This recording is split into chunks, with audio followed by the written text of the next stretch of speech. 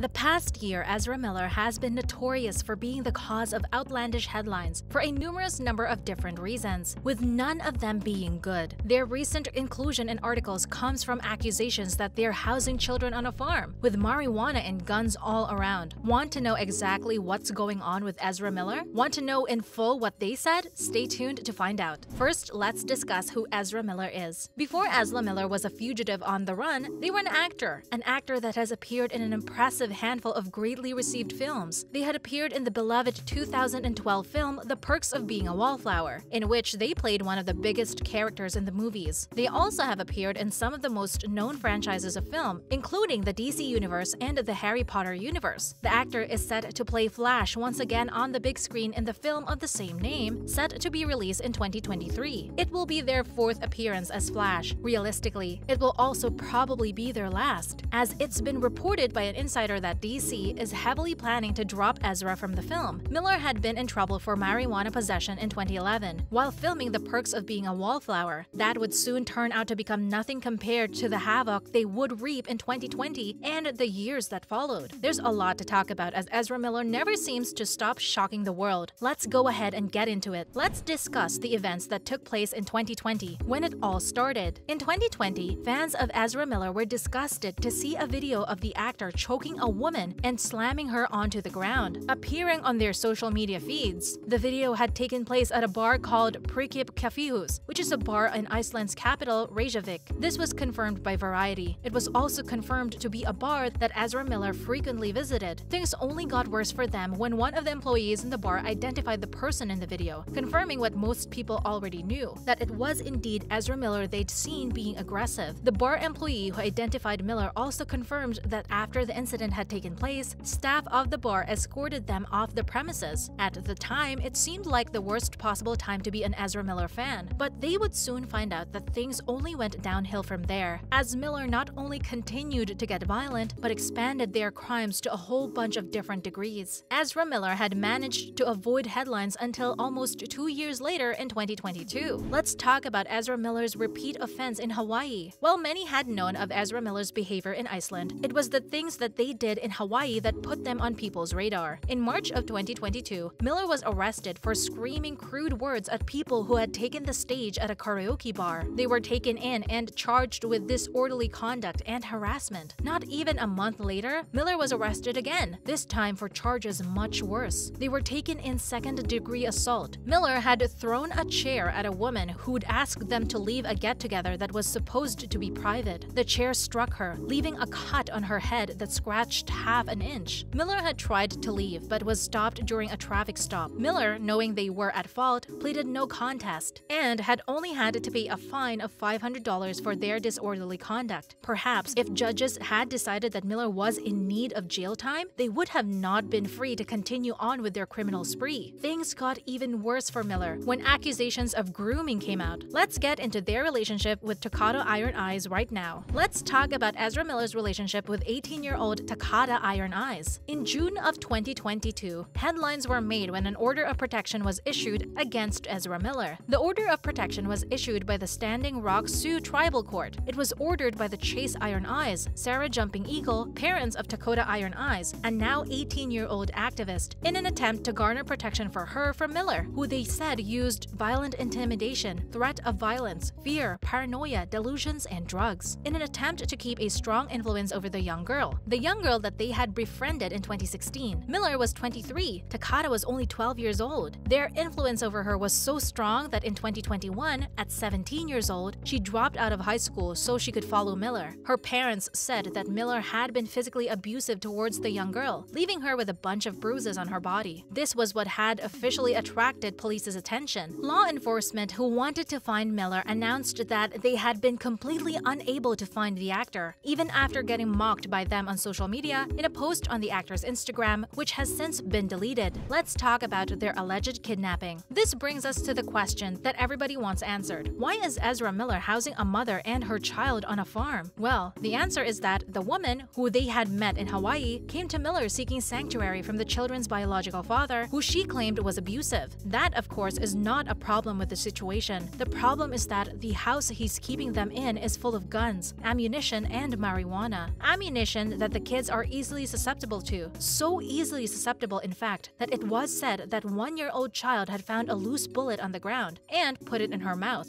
It was also said that there are people within the house smoking marijuana, not only in the house, but near the children. This is a big problem due to the fact that their farmhouse was said to not be well ventilated. There were also claims that there had been large assault rifles in the house that were set on a large pile of the children's stuffed animals. These claims come not only from a number of anonymous sources, but from the father of the children himself. Let's look at Ezra Miller's miscellaneous charges and headlines. The sources that had come forward and confirmed that Ezra Miller was housing the woman and her three kids also came forward to say that they were running a huge unlicensed marijuana purchasing scheme. They were set to grow much more marijuana that was allowed in the state, which is currently only two mature plants. Months ago, Miller was in trouble again for yet another instance of assault, this time including a child. A woman had come forward and talked about how Ezra Miller threatened her family. She talked about how Miller showed up to her home after visiting a neighbor. He was wearing a bulletproof vest and waving around a pistol at them. Not long after that, a TikTok was posted by a fan who had run into Ezra Miller. The fan asked for a video, while Ezra went on about offering people the option to get knocked out. After the fan mistakenly said yeah in agreement, Ezra for a second took that as him wanting to get knocked out himself. While it was funny to people who had seen it, and the original poster even laughed at it himself, it must have been a very scary situation to be in, as Ezra Miller has shown the past two years that nobody knows just what they're capable of.